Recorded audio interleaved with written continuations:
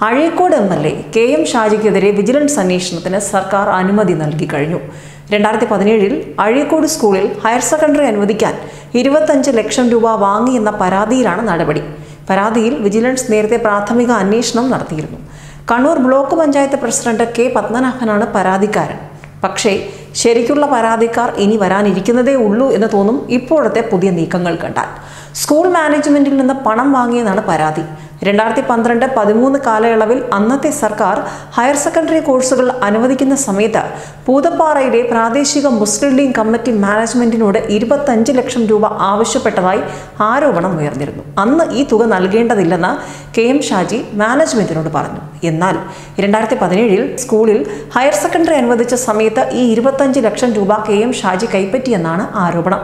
ലീഗിന്റെ പ്രാദേശിക കമ്മിറ്റി തന്നെ സംസ്ഥാന നേതൃത്വത്തിന് നൽകിയെന്നും പത്മനാഭന്റെ പരാതിയിലുണ്ട്. പ്രാഥമിക അന്വേഷണം നടത്തിയ വിജിലൻസ് തുടരന്വേഷണത്തിന് അനുവാദം ചോദിച്ചിരുന്നു. സർക്കാർ അനുവാദം നൽകിയതോടെ ഉടൻ കേസ് രജിസ്റ്റർ ചെയ്യും. അപ്പോൾ പിടിമുറുക്കി കഴിഞ്ഞു സർക്കാർ. മുഖ്യമന്ത്രിയെ ലക്ഷ്യം വെച്ച് K M Shaji Facebook post ഇട്ടതും ഇതിന് മുഖ്യമന്ത്രി രൂക്ഷമായ ഭാഷയിൽ മറുപടി നൽകിയതുമൊക്കെയാണ് കേരളം കഴിഞ്ഞ ദിവസങ്ങളിൽ കണ്ടത്. കെ എം ഷാജിയെ പിന്തുണച്ച് എം കെ മുനീറും കുഞ്ഞാലക്കുട്ടിയും അടക്കം പ്രതിപക്ഷ നേതാക്കളും രംഗത്ത് വന്നു.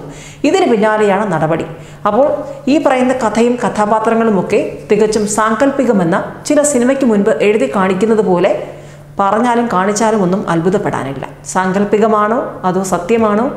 ഇതൊരു കുരുക്കാണോ?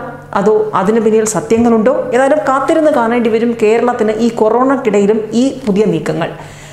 അതേസമയം രണ്ടായിരത്തി പതിനേഴ് സെപ്റ്റംബർ മാസത്തിലാണ് പത്മനാഭൻ പരാതി നൽകിയത്. പുനരന്വേഷണം നടത്താൻ അനുവാദം നൽകുന്നത് ഇപ്പോഴത്തെ പ്രത്യേക രാഷ്ട്രീയ സാഹചര്യത്തിൽ നിന്ന് പറയുമ്പോൾ ചില കഥാസന്ദർഭങ്ങൾ ചേരുന്നുണ്ട്. പൂതപ്പാറ മുസ്ലിം ലീഗ് പ്രാദേശിക കമ്മിറ്റി നൽകിയ പരാതിയിൽ മുസ്ലിം ലീഗ് സംസ്ഥാന കമ്മിറ്റി നടപടിയെടുത്തില്ലെന്നും അങ്ങനെ കാര്യങ്ങൾ നീണ്ടു പോവുകയാണ്. എന്തായാലും ഇതൊരു പുതിയ തുടക്കം മാത്രമാണ്. കൊറോണയ്ക്കിടയിൽ രാഷ്ട്രീയം പറഞ്ഞു വന്ന പ്രതിപക്ഷ നേതാവിനെ വിമർശിച്ചുകൊണ്ട് കെ സുരേന്ദ്രൻ ബി ജെ പിയിൽ നിന്നും രംഗത്ത് വന്നത് കേരളത്തെ അത്ഭുതപ്പെടുത്തിയിരുന്നു. ഇപ്പോൾ കെ എം ഷാജി നിലപാടുമായി വന്നു പ്രതിപക്ഷം ഒന്നടങ്കം പിന്തുണച്ചുകൊണ്ട് വരുന്നു ഒരുപക്ഷെ വലിയ രീതിയിലൊക്കെ അലയൊലികൾ ഉണ്ടായേക്കാമെന്ന് തോന്നുമ്പോൾ കടക്കൽ തന്നെ വച്ചിരിക്കുകയാണ്. മഴു ന്യൂസ് ഡെസ്ക് മലയാളി വാർത്ത.